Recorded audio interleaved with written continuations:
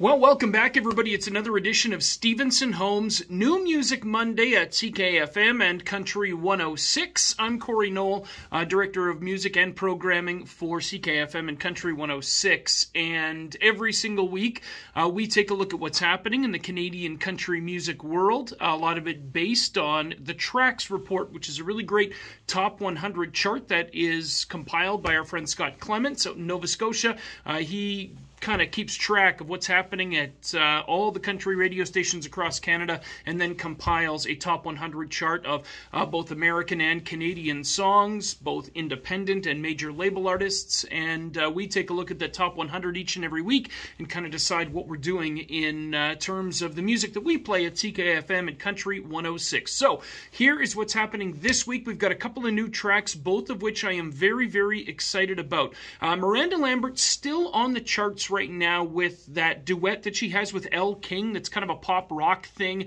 uh, called Drunk and I Don't Want to Go Home. Uh, but Miranda has kind of gone back to her roots a little bit with a new single that is out, and we've got it for you at CKFM and Country 106. Uh, it is called If I Was a Cowboy, and it's more of a, a rootsier, countryer thing from Miranda Lambert. Uh, very cool new track from her that is very quickly climbing the charts right now. And one Canadian track that is new this week, the Brothers Petric out of Winnipeg, uh, Tom and Jason Petric, they are back with another single, and it's called Safe With Me.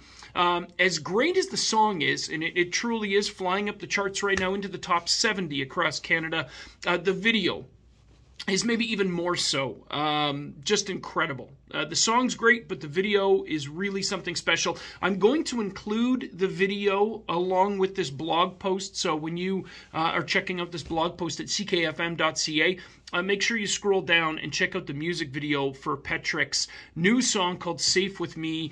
Uh, for all of you, especially that are dog lovers, if you're like me and a big animal lover, and especially dogs, uh, it's a very powerful, video. I won't give too much away, but you definitely want to watch it. Uh, really cool new track from the boys of Petric. Uh, also, hot on the charts this week. Here's what we can tell you. Eric Church, he continues a climb with his latest song called Heart on Fire. It's up another six spots this week from 19 to 13. Uh, Dustin Lynch teaming up with Canadian Mackenzie Porter on his latest called Thinking About You. It continues to climb, makes a big jump, 11 spots this week from 25 to 14.